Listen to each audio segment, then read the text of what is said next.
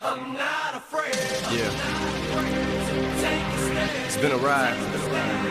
Everybody. I guess I had to go to that place to get to this one.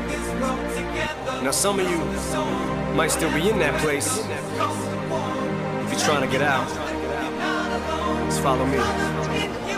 I'll get you there. You can try and read my lyrics off of this paper before I lay them. But you won't take this thing out these words before I say 'em. Cause ain't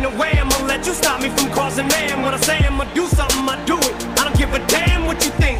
I'm doing this for me. So fuck the world, feed it beans. It's gassed up. Everything's are stopping me. I'ma be what I set out to be. Without a doubt, undoubtedly. And all those who look down on me, I'm tearing down your balcony. No ifs, fans of bust, don't try to ask him why, how can he? From infinite down to the last relapse album, he's still shitting. Whether he's on salary, paid hourly, until he bows out or he shits his bowels out of him. Whichever comes first, for better or to the game, like a fuck you for Christmas. His gift is a curse. Forget the earth, he's got the urge to pull his dick from the dirt and fuck the whole universe.